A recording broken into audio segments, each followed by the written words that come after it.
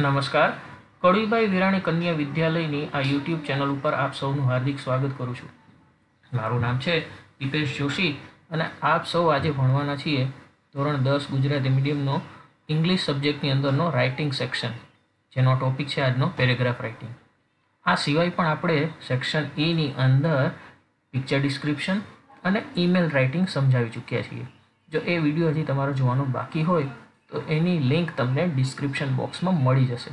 તો તરત જ એને જોઈ અને પછી આ સેક્શનના બધા જ આપણે પોઈન્ટ છે એને એકસાથે કવર કરવાના છીએ.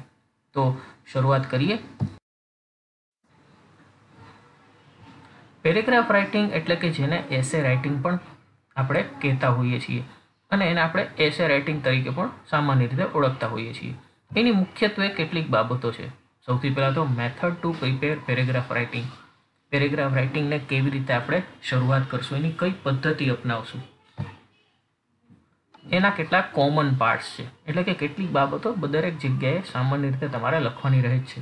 જેમ કે ઇન્ટ્રોડક્શન એટલે કે શરૂઆત મેઇન બોડી એટલે કે મુખ્ય જે પેરેગ્રાફનો ભાગ છે તે, અને કન્ક્લુઝન એટલે કે અંતિમ પેરેગ્રાફ આ ત્રણ બાબતો તમારે ચોક્કસ ધ્યાનમાં લેવાની હોય છે. આ જ વસ્તુ આપણે પિક્ચર ડિસ્ક્રિપ્શનમાં પણ શીખી ગયા કે કઈ રીતે વાક્ય રચના બનાવીએ છીએ.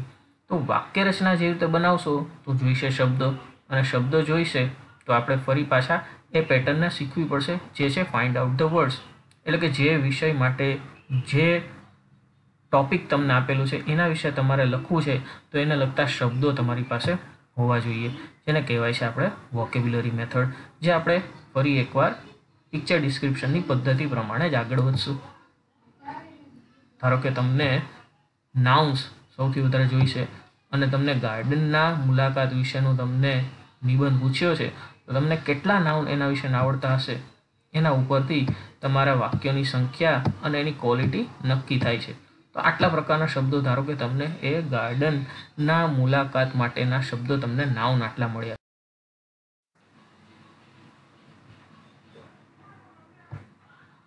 આ જ પદ્ધતિમાં આગળ વધીએ, તો નામની સાથે સાથે તમારે વર્બ એટલે કે ક્રિયાપદની પણ જરૂર પડે છે. તો આટલા બધા પ્રકારના ક્રિયાપદ તમારે ખાસ જરૂરી છે. આ સિવાયના પણ ક્રિયાપદો હોઈ શકે જે તમે વાક્યમાં ઉપયોગ કરી શકો છો. પણ હા, તે આપણા મુખ્ય પોઈન્ટને, મુખ્ય મુદ્દાને સંલગ્ન હોવા જોઈએ અને રેલેવન્ટ હોવા જોઈએ. તો તમે એને ચોક્કસ રીતે ઉપયોગ કરી શકો છો. વાક્ય રચના ફોર્મેશન ઓફ સેન્ટેન્સ એટલે વાક્ય કઈ રીતે રચવા? તો સૌથી પહેલાં એમાં જરૂરી છે ટેન્સ તો જ વાક્ય રચના સાચી બને. તો તમે નક્કી કરી લો, તમારો વિઝિટ છે એ કેવા પ્રકારનું છે? વિઝિટ લઈ ચૂકેલી છે? તો સિમ્પલ પાસ્ટ ટેન્સમાં સિમ્પલ ફ્યુચર ટેન્સમાં જો હવે વિઝિટ લેવાના હોય તો. અને વચ્ચે વચ્ચે કેટલાક સેન્ટેન્સ તમે સિમ્પલ પ્રેઝન્ટ ટેન્સના પણ મૂકી શકો છો. પણ આ બધી વસ્તુ તમે વારંવાર જો એનું લેખન કાર્યની પ્રેક્ટિસ કરશો તો અને તો જ તમે એને સારી રીતે એને નિશ્ચિત કરી શકશો.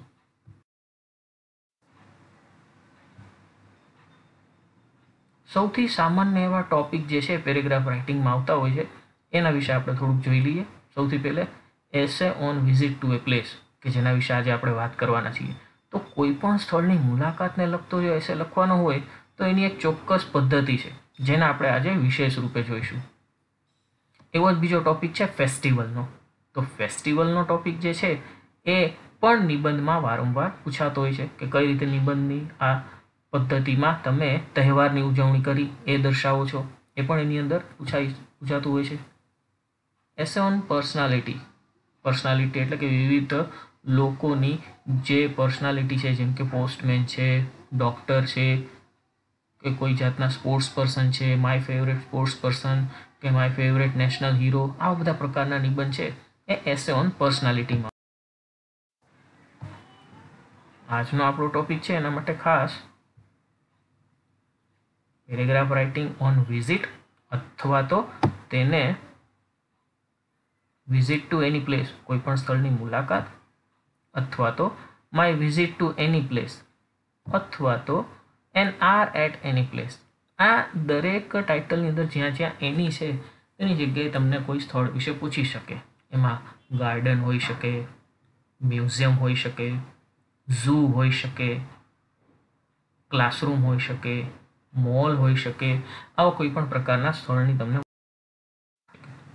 તો સૌથી પહેલાં આપણે પિક્ચર ડિસ્ક્રિપ્શનની કે વાક્ય રચના બનાવવાની પદ્ધતિ પ્રમાણે જ વોકેબ્યુલરી પસંદ કરશું. તો સૌથી પહેલાં એને લગતા ભરપૂર શબ્દો આપણી પાસે હોવા જોઈએ. જેમ કે રેલવે સ્ટેશન છે તો રેલવે સ્ટેશન ઉપર એક કલાક વિતાવ્યું એનો નિબંધ તમને પૂછ્યો. N R to railway station અથવા તો રેલવે પ્લેટફોર્મ. તો એને લગતા આટલા બધા શબ્દો જે એમાં બતાડેલા છે, એ તમને ખબર હોવા જોઈએ. જે પદ્ધતિ આપણે પિક્ચર ડિસ્ક્રિપ્શનમાં પણ ઉપયોગમાં લીધી હતી. ક્લાસરૂમ વિશે તમને પૂછ્યું માય સ્કૂલ વિશે પૂછ્યું, તો એને લગતા આટલા શબ્દો જે છે, આ અથવા એનાથી વધારાના શબ્દો પણ તમારી પાસે હોવા જોઈએ.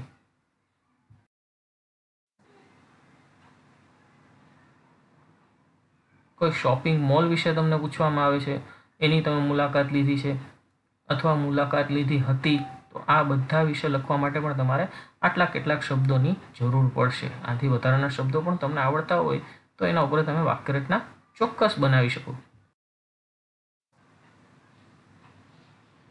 તમારા પેરેગ્રાફમાં મસ્ટ કવર એટલે કે આટલું તો આવરી લેવાનું જ છે. સૌથી પહેલાં વેર ડીડ યુ ગો ક્યાં ગયા હતા. એક જગ્યા હતી ઓર પ્લેસીસ એક કરતાં વધારે હતી. ટ્રાન્સપોર્ટેશન એટલે કે તમે ત્યાં પહોંચવા માટે કયા માધ્યમનો ઉપયોગ કર્યો? એ બસ, ટ્રેન, પ્લેન, કાર જે હતું એનું દર્શાવવાનું છે. પછી છે ટાઈમ ડ્યુરેશન એટલે કે કેટલો સમય ત્યાં પહોંચવા માટે તમને લાગ્યો? ત્યાર પછી છે what did you see there તમે ત્યાં શું જોયું? આ મુખ્ય તમારા નિબંધની બાબતો આની અંદર આવશે. What food did you eat ત્યાં તમે કેવા પ્રકારનો ખોરાક ખાધો? આ બધી વસ્તુ પણ તમે એની વાક્યરચનાની અંદર ઉપયોગમાં કરી શકો. ડીડ યુ એન્જોય ઇટ શું તમને મજા આવી? એના વિશે પણ તમે એક બે વાક્ય લખી શકો. અને was it a good holiday તમે રજાના દિવસોમાં ગયા તો તમારો એ રજાનો દિવસ સારો વીત્યો? એ મુલાકાતમાં એ પણ તમે વાક્યરચનાની અંદર લખી શકો. તો આટલી બાબતો જો તમે ભૂલ્યા વગર તમારા એસેની અંદર લખો, એમાં ખાસ કરીને what did you see there આ ભાગની અંદર તમારા મેક્સિમમ વાક્યો હોવા જોઈએ. અને બાકીની બધી વસ્તુ છે, એને તમે ભૂલા વગરના બે બે, ત્રણ ત્રણ વાક્ય બનાવો. એટલે એકદમ જ સરસ મજાનો તમારો આ પેરેગ્રાફ રાઇટિંગનો ભાગ બને છે. પેરેગ્રાફ રાઇટિંગ એટલે કે જેને એસે રાઇટિંગ પણ આપણે કહેતા હોઈએ છીએ. અને એને આપણે એસે રાઇટિંગ તરીકે પણ સામાન્ય રીતે ઓળખતા હોઈએ છીએ. એની મુખ્યત્વે કેટલીક બાબતો છે. સૌથી પહેલાં તો method to prepare paragraph writing paragraph રાઇટિંગને કેવી રીતે આપણે શરૂઆત કરશું, એની કઈ પદ્ધતિ અપનાવશું. એના કેટલાક કોમન પાર્ટ્સ છે. એટલે કે કેટલીક બાબતો દરેક જગ્યાએ સામાન્ય રીતે તમારે લખવાની રહે છે. જેમ કે ઇન્ટ્રોડક્શન એટલે કે શરૂઆત મેન બોડી એટલે કે મુખ્ય જે પેરેગ્રાફનો ભાગ છે તે, અને કન્ક્લુઝન એટલે કે અંતિમ પેરેગ્રાફ. આ ત્રણ બાબતો તમારે ચોક્કસ ધ્યાનમાં લેવાની હોય છે.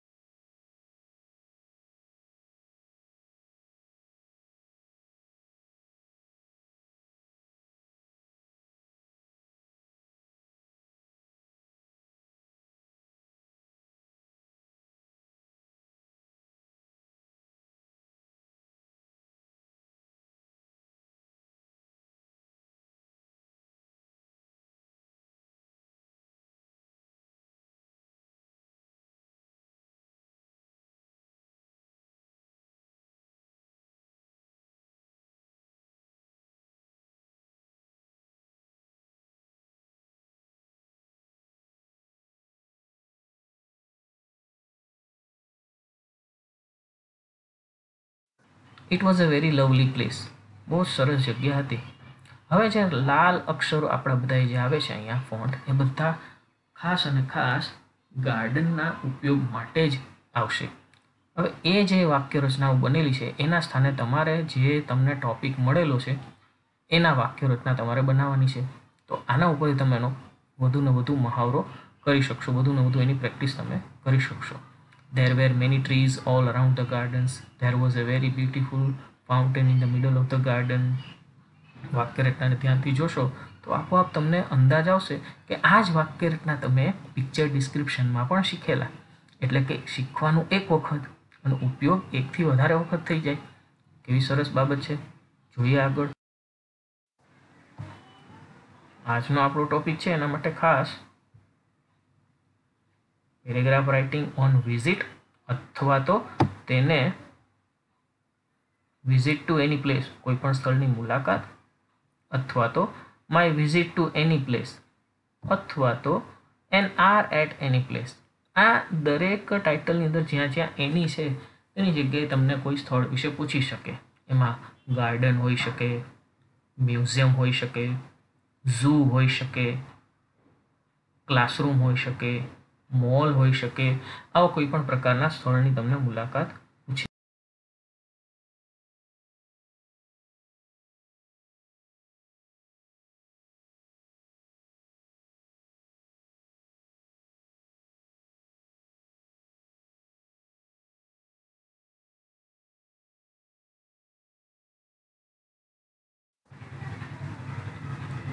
તો કડુબાઈ સ્કૂલની આ યુટ્યુબ ચેનલને હજી જો તમે સબસ્ક્રાઇબ અને લાઇક બટન ન આપ્યું હોય તો ચોક્કસ દબાવજો, સબસ્ક્રાઇબ કરજો અને બે લાઇકન તો ચોક્કસથી દબાવી દેજો, જેથી કરીને આવનારા દરેક વીડિયો તમને ચોક્કસ રીતે મળતા રહે. તો કોઈપણ પ્રકારની કોમ્પિટિટિવ એક્ઝામ માટેના ગ્રામરના વિડીયોઝ પણ ત્યાં છે. અને સાથે સાથે આ સેક્શન ઈની અંદર એસે રાઇટિંગનો હજી એક બીજો ફેસ્ટિવલને લગતો મુદ્દો છે, એ પણ આપણે તેમાં જ લેવાના છીએ. વિડીયોને તમે ધ્યાનથી નિહાળ્યો એ બદલ આપનો ખૂબ ખૂબ આભાર. Thank you